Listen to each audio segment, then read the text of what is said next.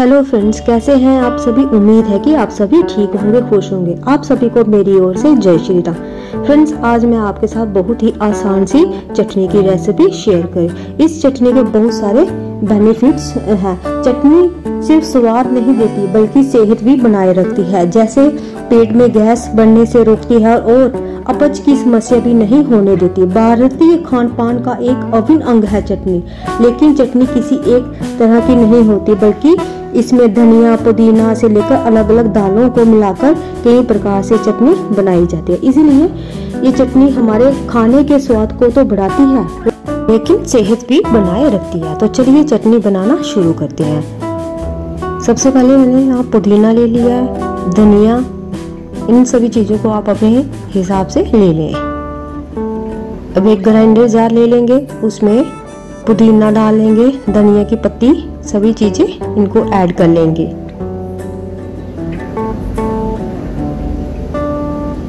अभी पुदीना ऐड कर लूँगी मैं। आप अपनी ज़रूरत के हिसाब से सभी चीज़ें डाल लें। आधा छोटा प्याज डाला है मैंने जहाँ।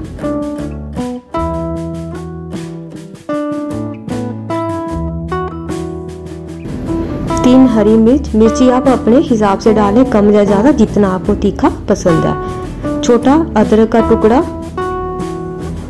और तीन लहसुन की कलियाँ। थोड़ा सा काला नमक, आधा छोटा चम्मच साबुत जीरा और आधे छोटे चम्मच से भी कम नमक और थोड़ा सा आधा नींबू का रस। तो इन सभी चीज़ों को हम एक ग्राइंड कर लेंगे।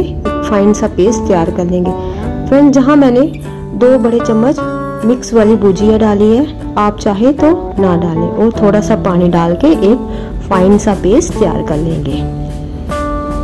और अभी मैं जहाँ दो बड़े चम्मच दही ऐड कर रही हूँ और फिर से ग्राइंड कर लेंगे।